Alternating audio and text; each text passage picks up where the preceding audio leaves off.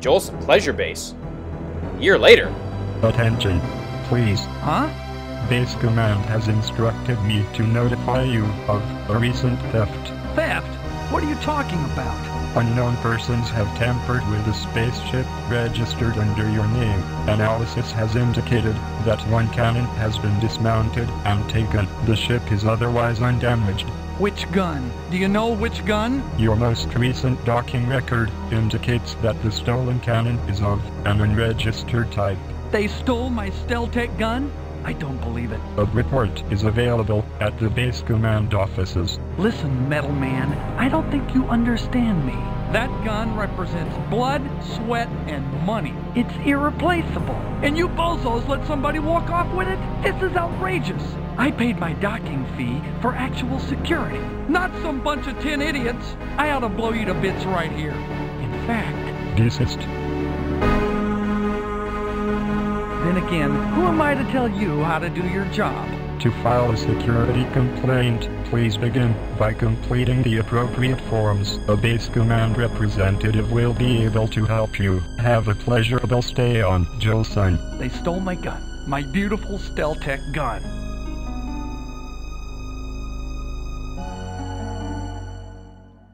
They stole our Steltek gun, and we need to get it back.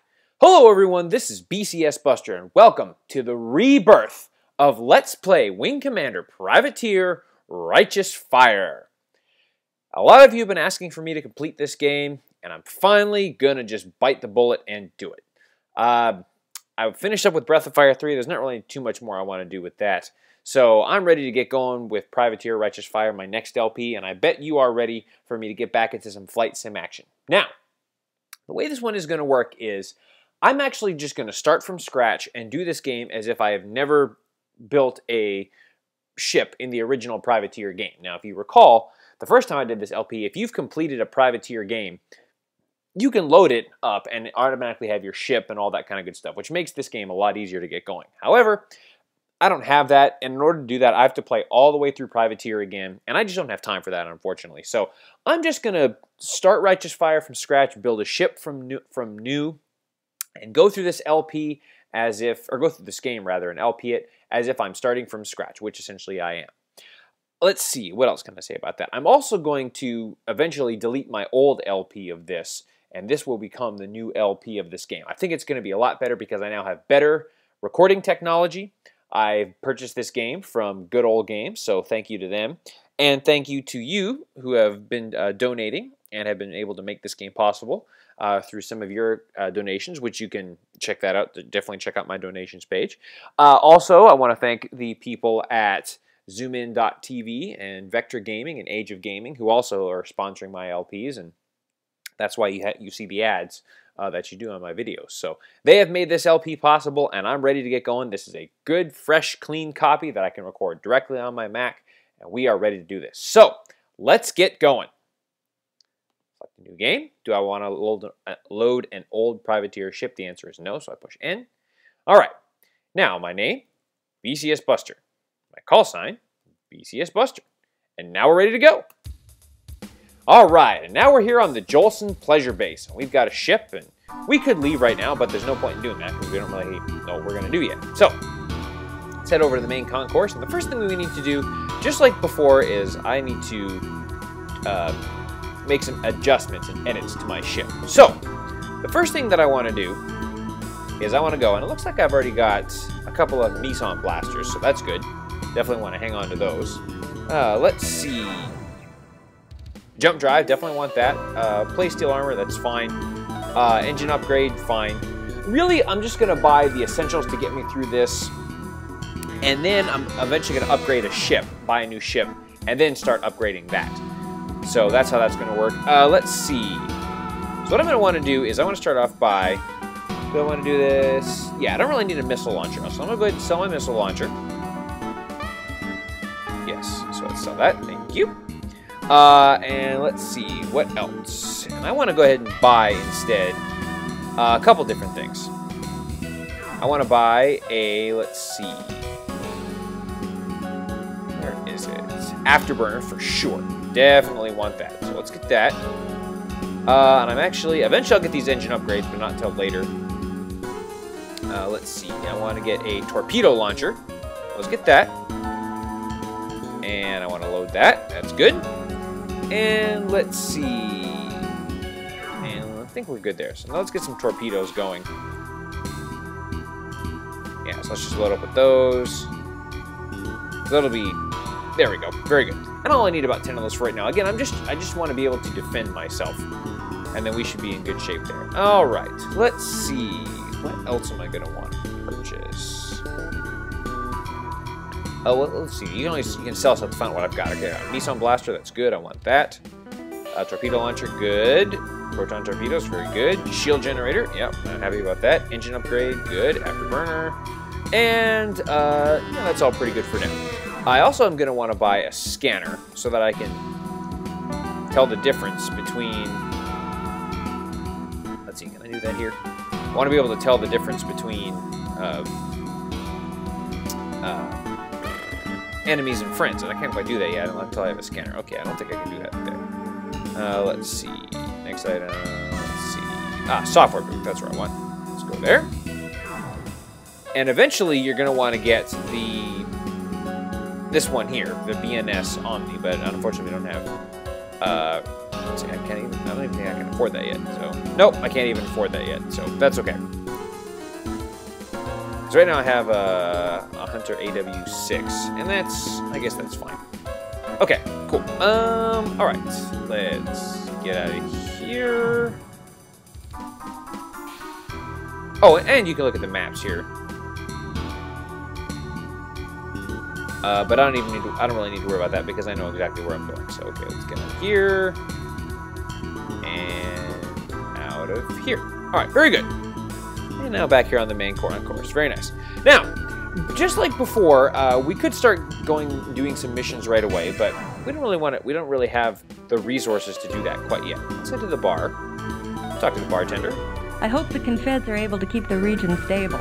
With Retros and Kilrathi about, becoming much more dangerous. The hard times are really helping out our business, but if the whole sector collapses, we're included. I'm not getting you down, am I? Uh, no, not at all. By the way, you'll notice that in this version of the game that I purchased, uh, we'll actually be able to get dialogue. Uh, in my first Righteous Fire LP, we just had uh, subtitles, uh, but now we can actually hear them talk, so that's pretty cool.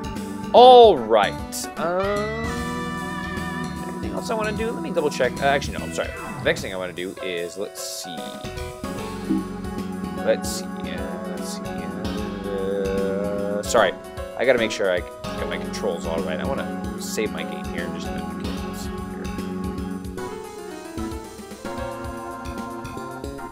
Ah, there we go. So if you push the C button, it brings up this menu here, and we can save game as BCS1. We'll do that. All right, very good. Game is saved, and now we are... Let's check out the mission computer here. Okay, Shangri-La system, no.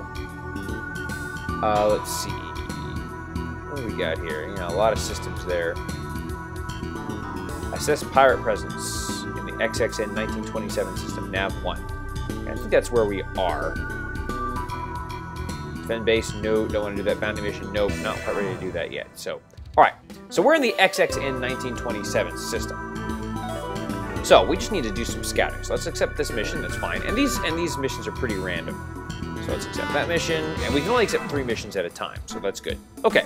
And I'll talk about joining those guilds here in just a little bit. Uh, so for right now, let's get out of here. Uh, where's the launching pad? Is. And let's get going. Yeah, there we go. So we're to get our speed up to maximum here. Push the N button so we can pull up the menu there. So uh, Nav1 is one of our destinations, and so is Nav4. So let's head over to Nav1. Make that our destination. Push, oh, sorry. Push the escape button. There we go. And let's see. There we go. Push the D button there. Hmm. I don't have any guns. There we go. There we go. Push the G button to get my guns all loaded up. Now we're ready to go. Let's head over there. And We're trying to make a little bit of money to get started here. Basically, and basically what we need to do is just... Oh, looks like we have... Uh,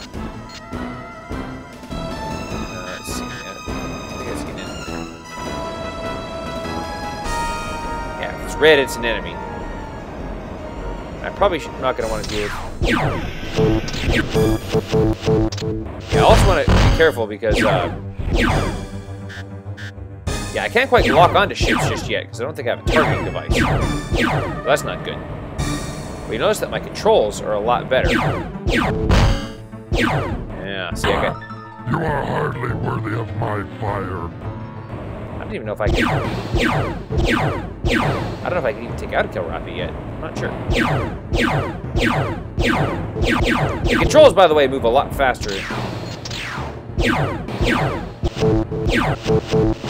Okay, I can't take out Kilrathi.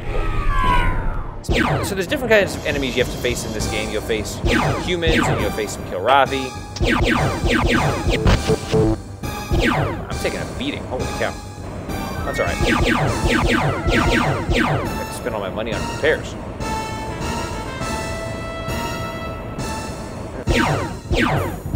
Uh, again, most of the time I'll avoid fights, but I'll show you this one just uh, for the sake of tradition.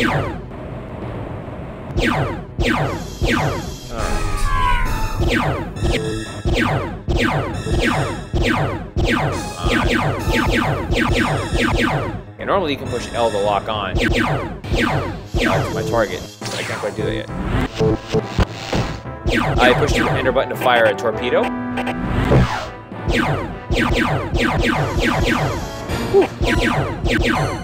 I'm gonna have to definitely do some repairing after this one. That's okay. Fire! Torpedoes are relatively cheap in this game. So that's why Torpedo Blaster is good for rather than Missile Blaster, just to start. And once I start getting some money going, then I can, uh, then I can, uh, buy upgraded ships and get better equipment and all that kind of stuff. Alright, well I'll finish up with this enemy and be back once I'm done with that. I am battered human, yet unbeaten. Uh, we'll see about that, pal. You know, my sights prove you wrong. There we go. Got him. Woo! Alright. Took care of that enemy, no problem. But definitely want to avoid fighting for now until I can get some better equipment. So, to get your point, what you want to do is get within, I think it's a thousand clicks. And we could uh, push the J button to jump, but I don't want to do that just yet. I just want to get rid of my thousand. There we go. Very good. Now let's head over to nav. Whoops, nav four. Auto over there. And oh, good. Fortunately, there's no enemies there. So all I need to do is just head over there, touch it, and then return home. And then uh, once I've done that, then I'll successfully have credits put into my account. So, all right. Let's go ahead, and again, I want to make, yeah, I can't remember exactly. Nope, come on. Go. I think it's, well, maybe it's just 2,000 clicks. Let's see. Yeah, okay, it's just 2,000. Very good. Okay, and Joplin, uh, Jolson Pleasure Base is where we want to go next, because that's where we started off. So let's head over there, and we'll return home. we just want to head right in. And, and as you, and as you approach it, uh, you'll automatically get a landing sequence, and I'll show you that in just a little bit. Afterburner is crucial to making things go the way that you want them to go. All right, so we can load up there. We don't want, we want to cool down. The thing about our engine is it can cool the air, it can heat up after using afterburners. So you eventually want to, you're going to want to get an engine cooler uh, so that it won't burn up as fast. You can afterburn longer. So it's kind of an interesting twist on the game here. Now entering an automatic landing zone. Very good. So let's land here. And then that automatically lands you. All right, so now we push the C button, we can check and see. Uh, let's see, where is it? Missions to date, two, yeah, so that means I've successfully done two missions here. Uh, let's see, where's my... Oh, where is it? No, I don't want to load a game. Nope, stop it. Uh, let's see. Should be able to, let's see. Now let's do it this way. Head over to the ship dealer. I can see how many credits I have there by just going there. So, okay, good. So now I have 18,000 credits. So I definitely want to do some repair. So let's repair that, and repair that, repair that, and repair. So basically just a lot of repairs. Okay, good, and everything's good to go. So, okay. So what I'm going to do now is I'm just going to run a few missions here and there. Actually, uh, before doing that, uh, let's see. Let's head it back out this way. Before doing that, uh, I want to go to the guilds here, and I want to join these guilds. Listen up. If you're looking for fame and glory, you've come to the right place. Just remember, the Mercenaries Guild not only gets you the best jobs, we guarantee payment. In this business, that's worth thinking about. The application fee is now 5,000 credits. Our rates have only recently gone up. Well worth the price, though. The Mercenaries Guild offers the most challenging missions and a premium compensation plan. What do you say? You with us? Absolutely, and we, and we want to join this guild for sure. Good. The application fee will be automatically deducted from your account. Thank you for joining the Mercenaries Guild. Go get 'em, Tiger. All right, very good. And now we can get some uh, some new, some different uh, merchant, some different types of missions, some better missions that pay more. But we also want to join this one too. Hi, how are you? I'd like to invite you to join our guild. We broker for the most reputable clients. That means we guarantee your work and your compensation. The Merchants Guild primarily schedules cargo runs, but we also place big bounties on pilots that attack our own members. It will only cost you 1,000 credits to join our ranks. How about it? Thousand credits only? Done. Great! We will automatically debit the service fee from your current banking system. The Merchants Guild appreciates your business. Thanks for joining. You'll be glad you did. All right, very good. And now I'm able to do some extra missions. So what I'm to do is I'm just going to fly some missions, uh, mostly just scouting missions. Actually, it will be all just scouting missions here in this system. And to earn a little bit of money to upgrade my ship just a little bit, and then we'll start tackling some of the main missions of the game. But what are those missions? What do we need to do to get our gun back? You'll have to wait till next time to find out. So then, this is BCS Buster signing off. Don't forget to like me on Facebook, follow me on Twitter at BCS Buster LP, check out my blog, check out my donations page, and as always, take care, y'all.